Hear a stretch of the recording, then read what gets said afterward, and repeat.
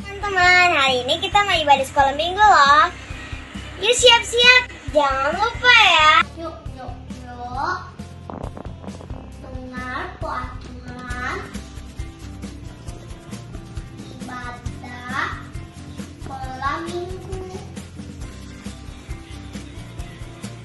Suka mandi. Dan sudah berbikin rapi. Sudah sarapan dan tidak bermain saat beribadah.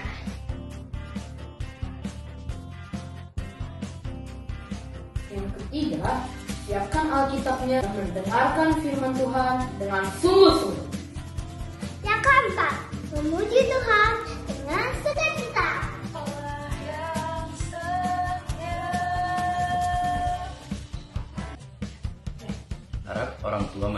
Anak-anak saat beribadah. Selamat beribadah dan selamat hari Minggu.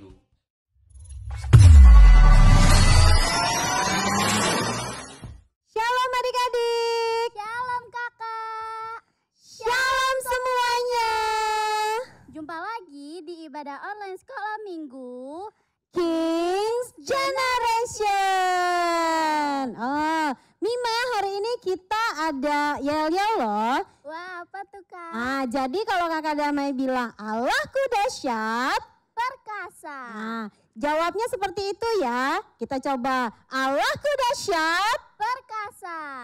Allahku perkasa. dan dahsyat. Oke, adik-adik eh, di rumah kita mau siapkan hati kita. Kita mau menyembah Tuhan. Di ibadah ini kita percaya Tuhan hadir, Tuhan melawat kita.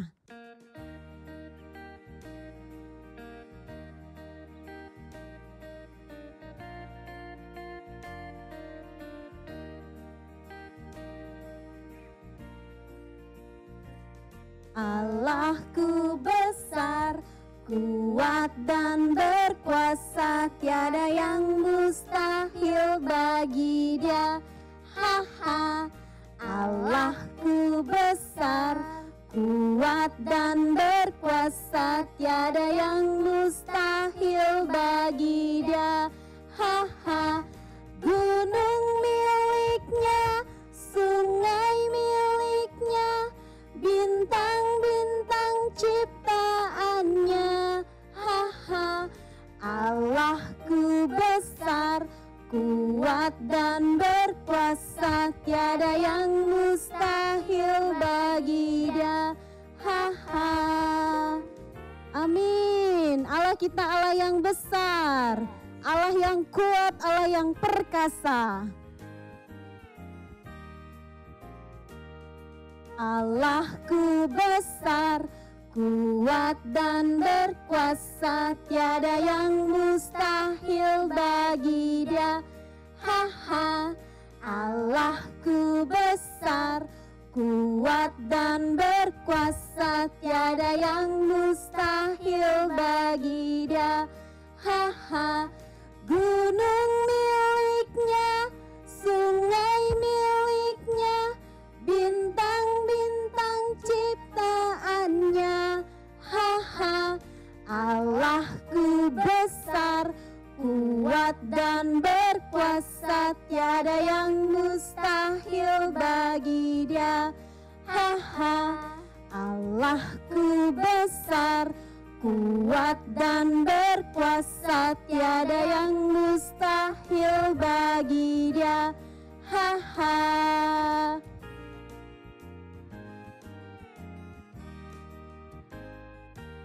Mari kita berdoa. Tuhan Yesus yang baik, kami percaya Engkau Allah yang besar, Allah yang kuat, Allah yang berkuasa atas setiap kami, Allah yang berkuasa atas ibadah kami hari ini. Pimpin ibadah kami Tuhan, dari awal pertengahan hingga akhir. Kami percaya kuasamu dahsyat atas setiap kami. Terima kasih Tuhan Yesus, kami berdoa. Haleluya, amin. Dahsyat. Perkasa Aku perkasa. dan dahsyat. Teman-teman semua, kita bangkit berdiri, kita memuji Tuhan. Biarpun Yes. gunung-gunung beranjak. Semangat semuanya. Biarpun gunung-gunung beranjak dan bukit-bukit pun bergoyang, tapi kasih setiaku tak akan beranjak darimu. Biarpun gunung-gunung beranjak dan bukit-bukit pun bergoyang, tapi kasih setiaku tak akan beranjak darimu Tak akan beranjak, tak akan bergoyang Tak akan beranjak, akan bergoyang Demikianlah firman Tuhan yang mengasihimu. Biarpun gunung-gunung beranjak dan bukit-bukit pun bergoyang. Tapi kasih setiamu tak akan beranjak darimu. Biarpun gunung-gunung beranjak Dan bukit-bukit pun bergoyang. Tapi kasih setiaku tak akan beranjak darimu. Tak akan beranjak, tak akan bergoyang. Tak akan beranjak, tak akan bergoyang. Demikianlah firman Tuhan yang mengasihimu akan bergoyang, tak akan beranjak, tak akan bergoyang. Demikianlah firman Tuhan yang mengasihimu. Allahku dahsyat, Perkasa. Allahku perkasa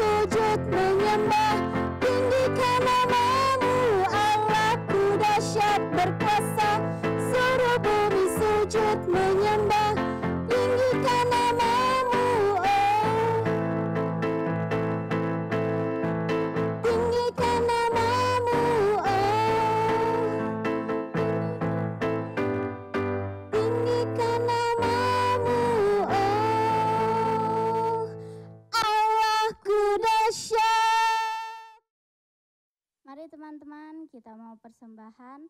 Persembahannya dititip ke orang tua ya. Mari kita berdoa. Tuhan Yesus yang baik, sebentar kami mau persembahan. Tuhan berkati persembahan ini biar menjadi berkat. Dan juga Tuhan berkati tangan-tangan yang memberi. Terima kasih Tuhan Yesus, terpujilah Engkau di dalam nama Tuhan Yesus. Haleluya. Amin. Mari teman-teman kita mau menyembah Tuhan. Kita angkat lagu pujian. Amin. Tidak ada yang mustahil bagi Engkau, Allah kami yang hidup. Kau baik, kau luar biasa, kau ajaib Tuhan. Terima kasih Tuhan.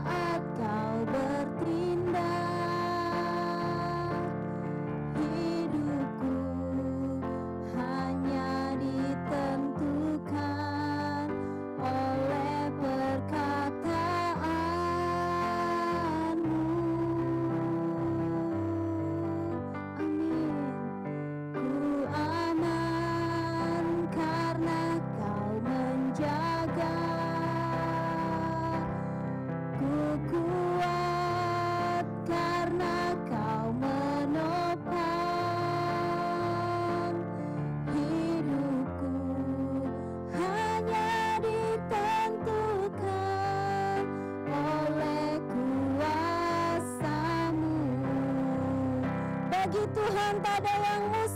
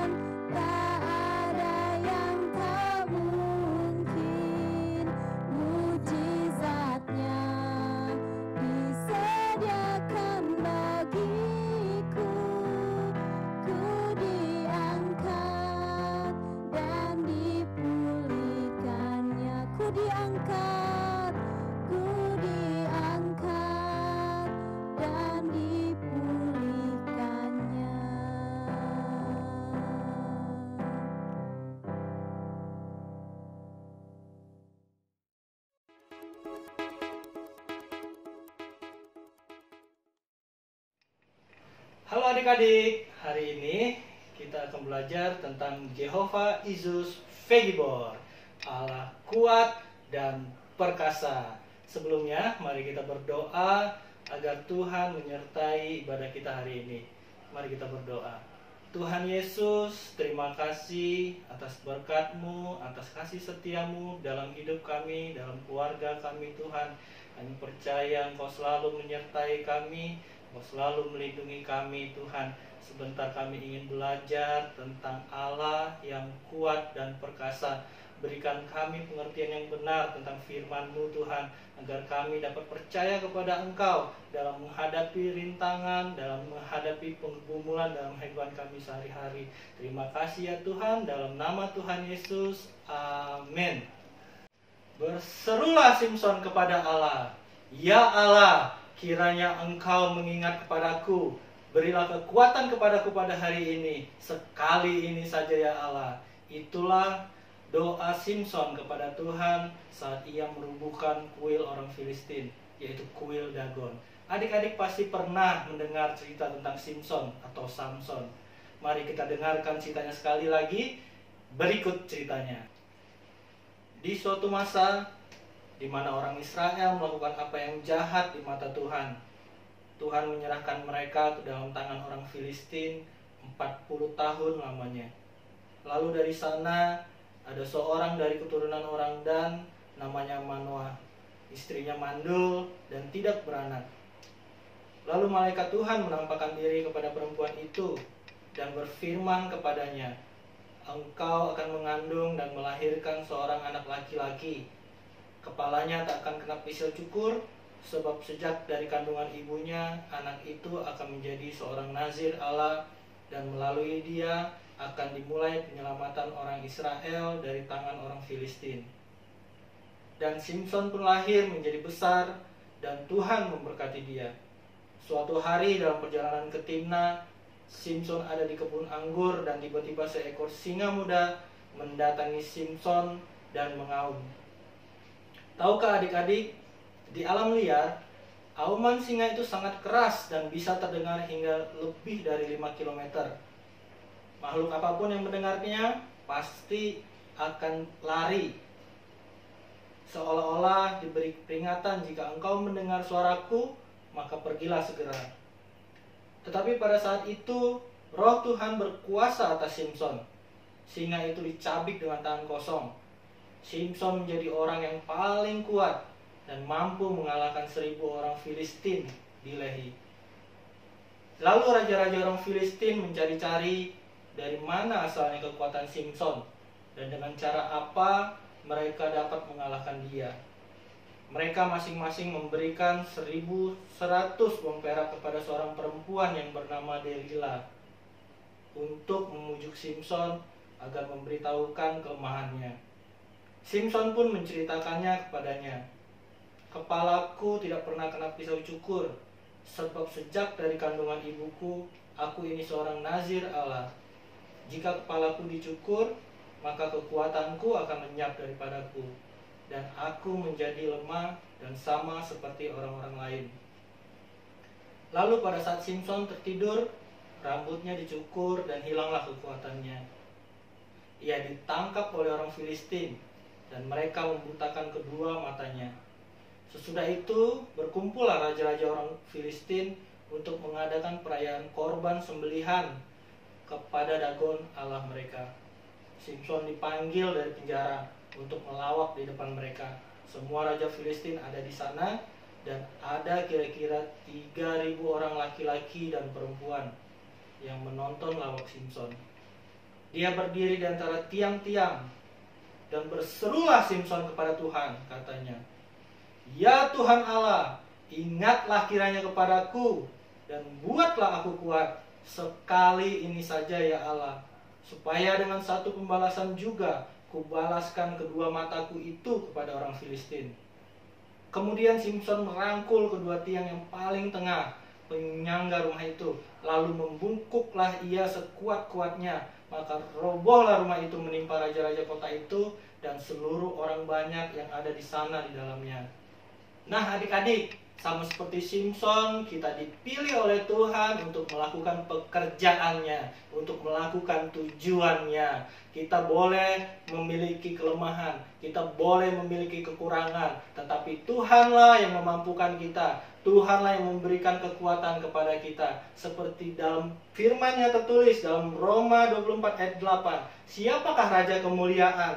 Tuhan jaya dan perkasa, perkasa dalam peperangan adik-adik di rumah mungkin memiliki pergumulan di dalam sekolahnya adik-adik memiliki pergumulan tetapi ingatlah bahwa Tuhan dapat membela, dapat memberikan kekuatan, dapat memberikan perlindungan, semua hal yang diperlukan ada di dalam Tuhan Yesus, ada di dalam firman-Nya. Adik-adik boleh membaca firman-Nya setiap hari sehingga memiliki kekuatan daripada Roh Kudus dan Roh Kudus yang mengajari adik-adik apa yang terbaik, apa yang boleh kita lakukan dengan semangat dan sukacita, kita boleh berteriak bahwa Tuhanlah kekuatanku, Tuhanlah gunung batuku, bersama-sama dengan Tuhan aku dapat melakukan segala perkara. Haleluya.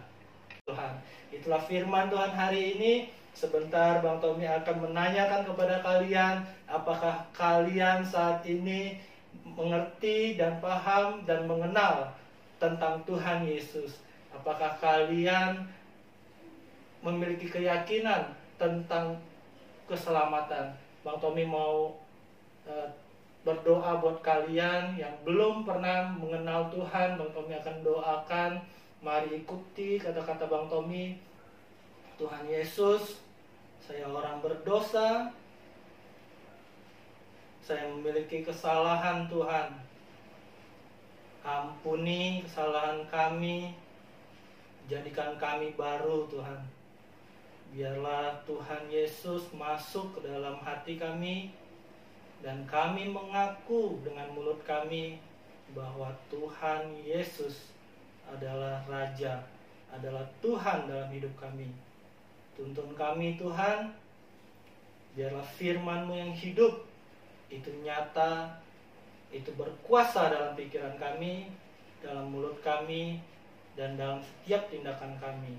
Dalam nama Tuhan Yesus, amin. Nah, adik-adik, firman Tuhan sudah Bang Tommy sampaikan. Eh, Sekali lagi, Bang Tommy mau ingatkan bahwa Tuhanlah yang menjadi kekuatan dan sukacita kita. Sebentar Bang Tommy akan tutup melalui doa. Mari angkat tangan kita. Terima kasih Tuhan, terima kasih buat firman-Mu yang hidup dalam hidup kami. Biarlah Tuhan, apa yang boleh kami terima pada hari ini, itu boleh kami lakukan Tuhan, itu boleh kami renungkan Tuhan hari demi hari. Bahwa kami mengandalkan Engkau, bahwa Engkaulah Tuhan, Engkaulah Allah, sukacita kami, sumber kekuatan kami, Allah yang perkasa, Allah yang mampu melakukan segala hal, Allah yang unlimited, yang tidak terbatas, yang mampu melakukan hal-hal yang supernatural dalam hidup kami. Kami percaya dan bergantung penuh kepada Engkau ya Tuhan. Di dalam nama Tuhan Yesus, amin. Selamat hari Minggu, Tuhan Yesus memberkati. Dadah.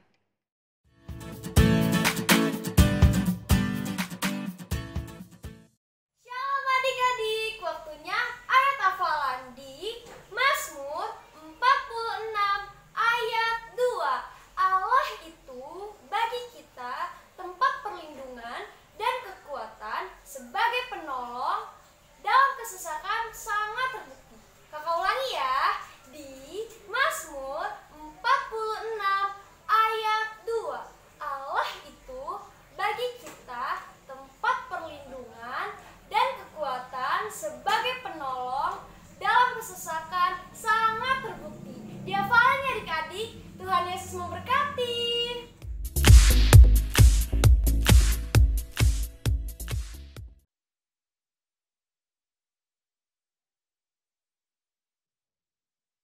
Ya ampun, lantai tokonya kotor banget. Ih, tumpahan kopi. Ya ampun, debunya juga belum disapu. Kerjaan siapa nih ya? Tiwi! Tiwi! Mana sih tuh orang ya? Eh, ini dia. Kok ini masih kotor sih? Kenapa? Loh, kok malah dibuang ini? Ntar patah loh. Ini kan mahal. Kenapa males sih? Senyum dong. Anak Tuhan nggak boleh males. Ya udah, biar nggak males kita bikin kue yuk. Ya benar. Oke, kita bikin kue. Nah, adik-adik, supaya kalian gak bete dan mau disuruh sama mama papanya dan ceria lagi, mendingan kita bikin kue yuk. Oh iya, tapi Kak Anita, aku tadi mau minta maaf deh, tadi aku udah marah-marah. Nah, saatnya kita buat Kue. Kue. Kuenya ini ada sebutannya loh kak. apa sebutannya Kak? Namanya kue pizza Hmm. pisang coklat. Oh, pisang coklat. Nah, bahan-bahannya adalah yang pertama, Nah ini adik-adik boleh beli pisang eh, di toko atau supermarket terdekat. yang sudah dipotong-potong. Ya, Terus yang kedua, keju yang sudah diparut. oke. Lanjut kak, yang ini apa nih kak? Nah, kalau yang ketiga itu ada selai, bisa selai kacang, dan juga coklat. Kalau di rumah ada rasa stroberi, nanas, Srikaya. apa pun. Oh iya banyak ya kak. Boleh apa aja. Hmm, jadi boleh adik-adik eh, boleh dioles-oleskan nanti. Ini nanti ikutin caranya. Kalau ini apa kak? Ini adalah roti tawar. Oh tapi roti tawarnya yang sudah dikupas ya adik-adik. Oke, nah caranya yang pertama. Eh tapi kak ada yang ketinggalan. Oh iya, Yang apa kak? pojok belum. Ada sendok. Ya. Terus ini yang tadi yang kejunya kan harus diparut. Nah ini contoh parutannya. Ya kalau yang ini kak. Ini adalah pisau. Hmm, tapi kalau adik-adik yang kecil harus hati-hati ya.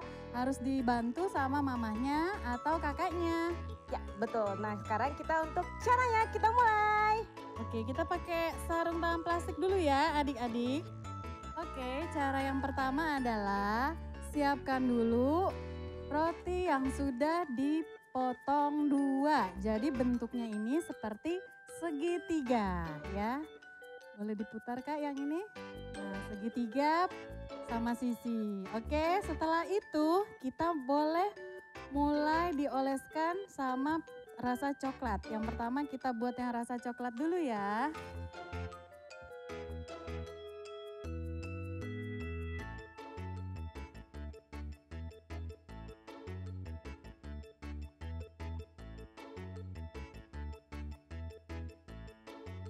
Udah kak, udah menyebar dia harus penuh ya kak. Sampai sisi-sisinya keisi rasa coklat biar coklatnya itu padat. Setelah itu boleh dimasukkan eh, pisangnya adik-adik yang sudah dipotong tadi. Karena sudah pakai sarung tangan boleh. Ya, yang semuatnya ya.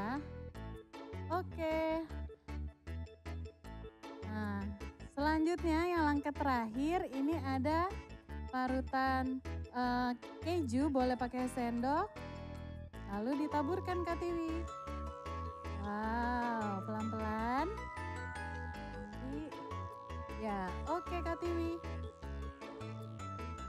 Boleh ditabur sesuai eh, kesukaannya ya. Kalau yang sukanya keju, boleh ditabur yang banyak. Kalau yang nggak terlalu suka, boleh yang eh, pakai susu juga boleh kak ya. Ya, oke, boleh di sini kak.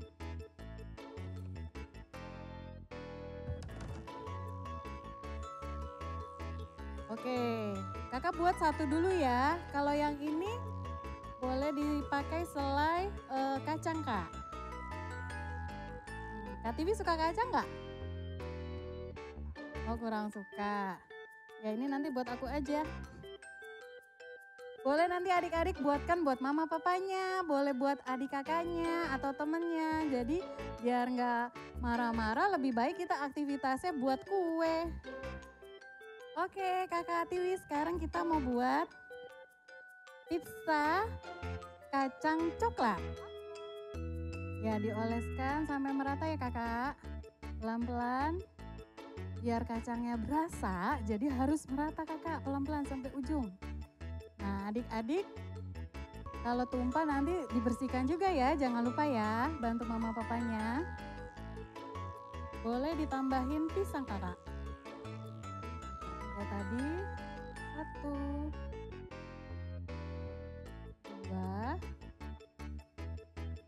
tiga. Lalu yang terakhir taburan kejunya. Kalau aku nggak terlalu suka keju sedikit aja boleh. Oke kak. Lalu ditutup deh.